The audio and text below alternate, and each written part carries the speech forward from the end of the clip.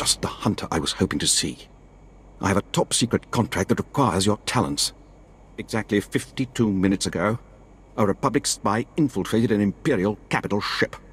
The blast-happy scum killed 16 loyal officers and made off with a sample of our most deadly bioweapon. Now this spy's on Balmorra trying to hand the weapon over to the Republic. We must recover it first. I'm overqualified for this job.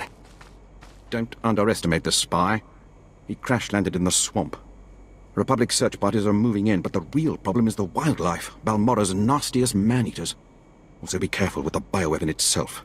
The casing might be damaged, and I'd rather not have to explain a thousand unplanned casualties